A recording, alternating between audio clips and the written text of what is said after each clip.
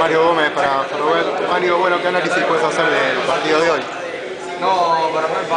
Y el de siempre, o sea que el primer tiempo fue jugamos muy bien, manejamos la pelota, pero tenés, cuando tenés que hacer más goles hoy es difícil, se lo complica. Un mérito también en el segundo tiempo, tácticamente como lo planteó de la arriba, que supo cercar la subida de, de los laterales de Ferro, ¿no? Lo que pasa es que luego, cuando habrás tantas situaciones en el primer tiempo, después se hace más difícil, porque al empatar los chacaritas, lo que hizo con, con formar dos líneas de cuatro y con un jugador hizo lo correcto, lo hizo muy bien, entonces después ya lo costó, lo costó mucho más poder eh, entrar.